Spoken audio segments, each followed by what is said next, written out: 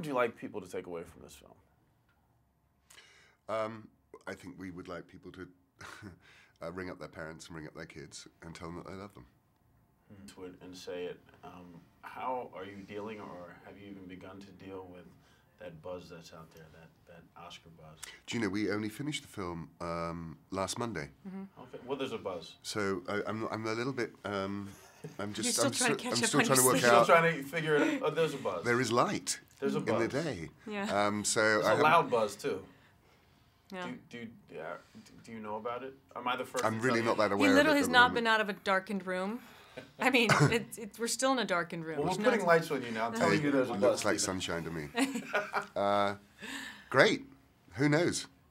I think I think just the desire you just want people to take away from this movie what you hope is in it and you hope it says and you hope it resonates in people. I mean, anything else you can't control, but the sensitivity and the honor that this film deserves is I think um, what's really most important.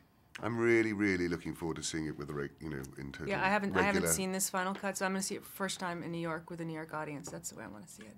A mother and, and playing a mother, did it, did it bring anything more to the role? How did you prepare for? I played mothers often. Um, never any that, that had this depth. None that were this combative and hard and charged and broken um, with their child.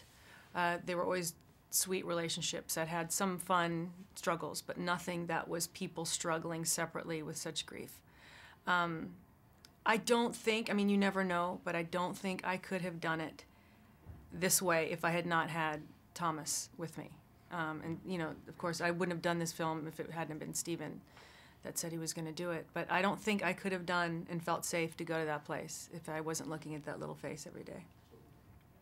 Yeah. And the, the chemistry between the two of you guys Hmm. was, was pretty extraordinary. It's hard because it was a battle. It was a struggle. And so to do that with someone that you love so much and are so fond of by the time you're halfway through this shoot, you it's a hard it's where you have to just remove yourself completely and go to that place and not go to hug him, not go to make amends. It's where you stay in that place and he stayed in that place. That's what made it easier for me. When I saw that he was not moving, I, I had to suck it up and not move either and, and just stay there. And Stephen was real good about at the beginning saying, do not go in and try and rectify something. Do not go in and comfort. Do not go in and try and, um, you know, change uh, an emotion, which is hard. It's very hard. Played a mother before, but this is the first time playing a mother where you are a mother. Mm-hmm, Now, did you draw upon any of those emotions? And I'm sure it made everything that much richer. I mean, I cry at everything now. It's like I see sparkly lights now, and I get yeah. I I've become more um, open to surprises and feelings, and and it, they just take over. I mean, it's embarrassing, but it just you know, uh, but it's actually really. Um, if you let a child into your life and you enjoy every single second, your life will be so much sweeter. Instead of fighting it, just go on their ride and you get a second chance at a childhood and you do things you thought were long past, you know. And I, I'm sure it affected me in ways I have no idea how to express. what, what, Um, what kind of things have you re-experienced? Or, or Christmas. Christmas. I'm seeing sparkly lights. I'm seeing things. I'm seeing things we have to do and we have to see so we can remember and take a picture. And oh my gosh, look at this! And you just where normally I'd blow past it, just be stressed about did I get the gifts wrapped? Did I get everything sent out? It, w- was perfunctory before, even though it was a very passionate time for me. It's a whole different. It's a whole different time when you do it for the kids. We don't need anything. It's not like we're waiting for something under the tree. Can we talk about Santa?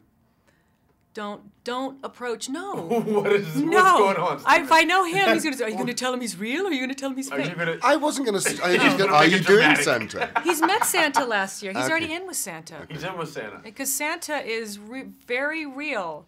Santa's and totally and real. if you want Santa to be real, he is as real as we are sitting here today. I, we were totally Say into it the into the Santa. camera. We totally Into Santa. buy Yeah. into Santa. Yep. That's Don't the next movie. buying into Santa. you can't It's a air that. Macy's commercial. Yeah, you can't. You can't air that. Buying into Santa. I mean, uh, are you you have big Christmas plans, holiday plans? Oh, it started like last year. Yes. Are you serious? No. they started about three months ago. Just like planning and getting little things organized. Yeah, yeah. Again, Wow. it's No. It's all good. what do you say to the? Um, I mean, because I've talked to a lot of different New Yorkers about it. Now, what do you say to the New Yorkers who are like, I can't go see a 9/11 Mm. film? then they shouldn't go. I mean, I think that uh, whether people are ready or not, or when they're ready, or how they're going to experience it, people, you know, it's totally subjective, and it'll be the right time for some people, and it'll be entirely the wrong time for other people, and it has to be everybody's personal choice whether to to start hearing those stories and start telling those stories. Both in cinemas, but uh, you know, in other medium as well, and, and some people really can't stand anything about it, and some people are ready. So it's got to be subjective. I think, I mean, if I can say this, I mean, I, I I feel this is the, this film is in honor of everyone who lost and was affected. This is our, our a love letter to say your grief. We want to hear it. It's you're allowed to speak about it. It's it's not something, it's not something ever to take lightly. When someone speaks of their grief about this event, stop and listen. Listen to it. Take it in.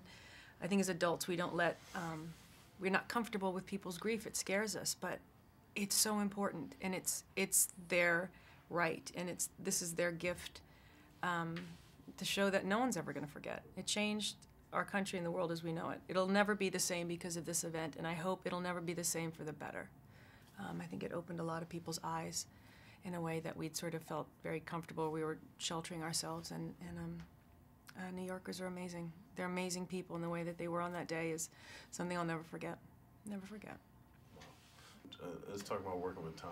How, how was it working with Tom? Mr. Hank? Mr. Hank. Oh, we love us, Mr. Hank. Mr. Hanks. He was fantastic. I mean, he he fantastic actor, but you know, his role in this is, from the child's point of view, the perfect dad. And why wouldn't you cast Tom Hanks? He is the perfect dad. I wish he was my dad. Um, but he is. He was extraordinary. Extraordinary with to, with Thomas, and Yeah, extraordinary with to me. have around.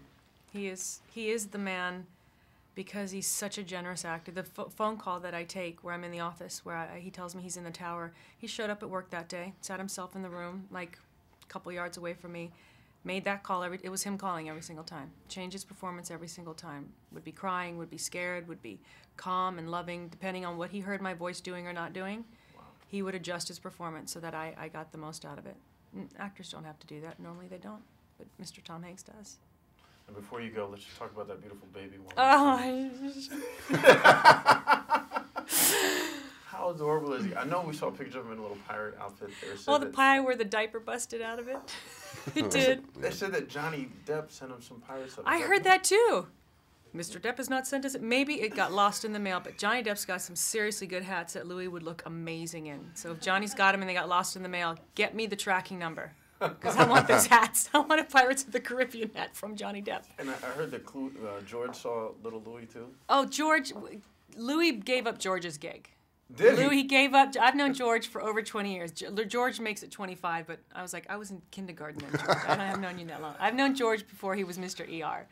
And George loved him some Louis. And he got caught loving on Louis. So all of a sudden I went, ooh, your image has just been shot. Did he, did he get the bug? Does he George have the baby bug now? Maybe? No, he doesn't, but he's got the Louis bug. That's a good. He got bug. the Louis bug. He, he loved him some Louis, but he also taught him some good moves on the basketball court. I think Louis learned his dribble from Uncle Georgie. Not the dribble this way, though they shared that too. But they, they he taught him a nice little dribble Where was that? in London, in your country.